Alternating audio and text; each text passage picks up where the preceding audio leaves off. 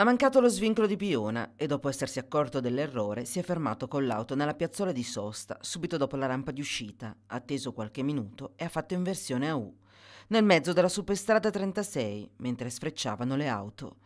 Il video, ripreso da un ponte sopra la statale, è stato postato su Facebook in un gruppo di colico.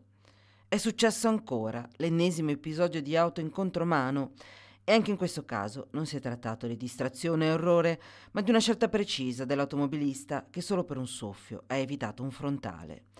È accaduto nel pomeriggio di ieri, all'imbrunire, in direzione nord, lungo la trafficata arteria.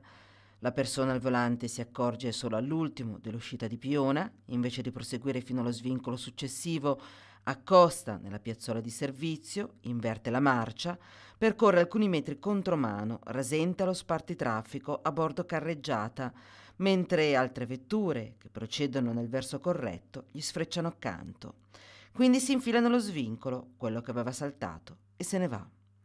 A giugno era scattato l'intervento della safety car della polizia stradale per un'auto contromano lungo la carreggiata sud a Mandello. Lo scorso anno dieci automobilisti si sono visti ritirare la patente per guida in contromano proprio lungo la statale 36.